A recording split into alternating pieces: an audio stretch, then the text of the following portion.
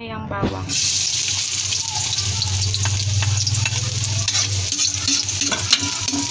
Igigisa lang natin siya.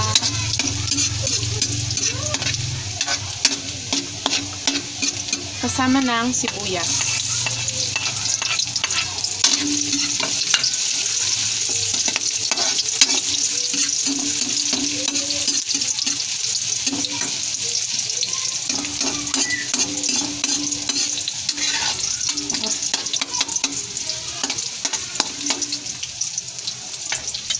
Unod ilalagay ay ang ating carrots.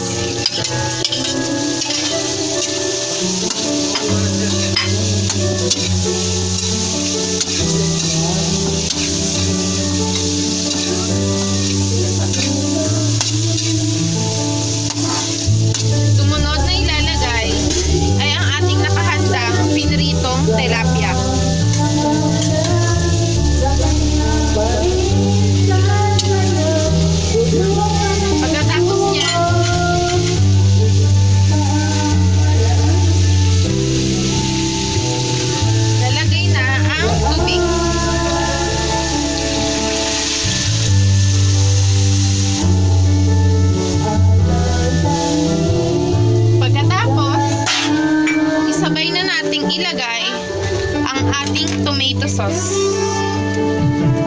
Ito ay Del Monte.